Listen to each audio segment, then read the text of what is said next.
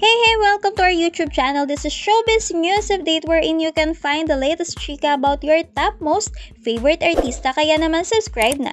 And don't forget to click the tiny bell for our latest and most updated video. John Lloyd Cruz nagsalita na sa relasyong namumuo sa pagitan nila Ellen Adarna at Derek Ramsey. Kalat ngayon social media ang napakaraming larawan at video clip ng aktres si Ellen Adarna kung saan makikitang kasama nito ang aktor na si Derek Ramsey. Unang nakitang magkasama ang dalawa sa isang party kung saan pinost ng aktres na si Rufa Gutierrez ang larawan nitong si Derek at Ellen na magkatitigan at isang video clip na makikitang tila nagkakatuwaan ang dalawa. Sa isa pang nag-viral na moment na magkasama ang dalawa ay kung saan nagulat ang mga viewers dahil sa isang live interview kay Ellen, nagulat ang lahat dahil muli itong nasa tahanan ni Derek Ramsey. Napapadalas nga ang pagkasama ng dalawa na talaga namang nagpapagulat sa napakaraming netizen na makakakita nito. At ngayon isang balita na naman ang lumabas na sinasabing magkasama ang dalawa. Sa article na inilabas ng Pep.ph, Ellen Adarna brings her 2-year-old son in a beach trip for a mom and son bonding. Kasama din sa grupo ang aktor na si Derek Ramsey at ang kanilang common friends.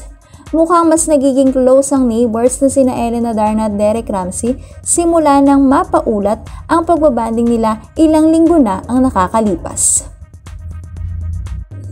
Kaya naman finally John Lloyd Cruz nagsalita na sa tila nga romantic moment na ito ng dalawa. Ayon sa nakalap naming leak information mula sa isang sikat na entertainment gossip site, di na nga napigilan pa ni John Lloyd Cruz na magsalita na sa di umano relasyong ito ng dalawa. Ayon nga daw mismo kay John Lloyd, he is happy that finally Ellen found her happiness again with someone else. Wala naman daw ang kaso kay JCL kung magkaroon ng ibang lalaki at bagong lalaki sa buhay ni Ellen. Total naman ay matagal na rin silang hiwalay na aktres.